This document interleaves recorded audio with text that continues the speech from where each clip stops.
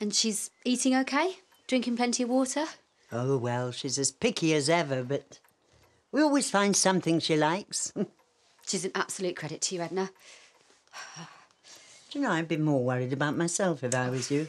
I'm fine, honestly. It looks worse than it is, and I'm not contagious, so don't worry. uh, would it be all right if I used your loo, Edna? I'm ever so sorry. Oh, be my guest. It's, um, top of the stairs. You'll see it.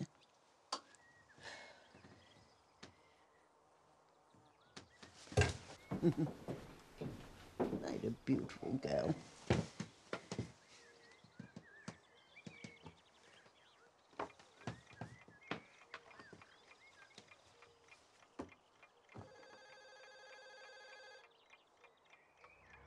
Your phone's ringing. Uh, just let it go through to voicemail, Edna.